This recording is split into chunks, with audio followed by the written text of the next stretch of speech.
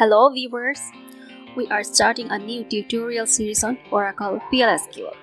We will release videos on PLSQL from basic to advanced level. Today, I have divided my videos into two parts. One is very basic definition about PLSQL and the rest one is why do we use PLSQL.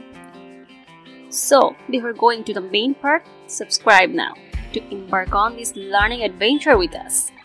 What is PLSQL? PLSQL is mainly procedural language. It is an extension of structured query language or SQL. It's the primary language used to access and modify data in a relational database.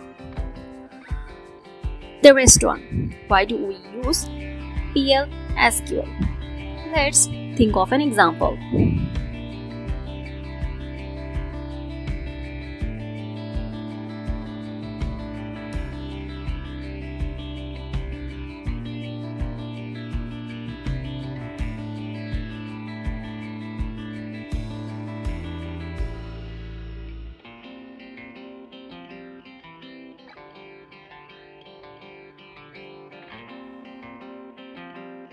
The SQL statement is simple and straightforward.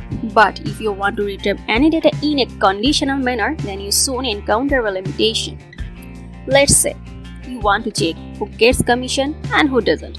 After checking, you want to increment the salary of employees who get commissions to increase by $2,000 and those who don't will get a 5000 increment in their salary. Looking at the problem, you know that you have to execute the preceding SQL statement, collect the data, and apply logic to the data. PLSQL is designed to meet such requirements.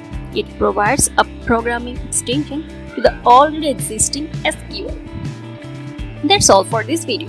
In our next video, we will discuss PLSQL runtime architecture.